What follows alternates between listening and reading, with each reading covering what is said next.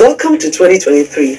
We enter his gates with thanksgiving in our heart, and we enter with praise to Jehovah, because this is the year that the Lord has made, and we'll rejoice and be glad in it. Year of peace, joy, progress, prosperity, and double portion of every blessing in the mighty name of Jesus. It will be a year that every door of blessing and breakthrough would open of their own accord, just like they opened for Peter.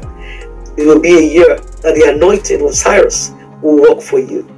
Because the loins of kings will be loosened on your behalf, and they will open unto you the double leaf doors, and the gates will not be shut. Every crooked path before you, they will be straightened by the Lord. It will break in pieces for you the gates of brass, and it will cut asunder the bars of iron. The Lord will give unto you the treasures of darkness, and it will open your eyes to see the hidden riches in secret places, and you will know that He is God. Every of your seed in this year, they will not be watered laboriously, but they will drink of the rain of heaven. It will be a year that will be like the land of the children of Israel, a year that is filled with milk and honey just for you.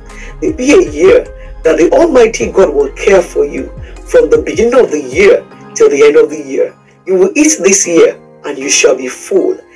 You will enjoy favor in every place that you should labor, and grace and glory will be your portion.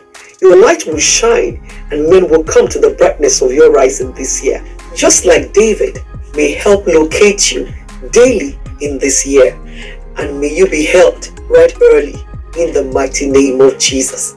As you enjoy double portion in this year, may it be a year also of extraordinary results and blessed. May everything you touch this year yield fruitfully in the mighty name of Jesus.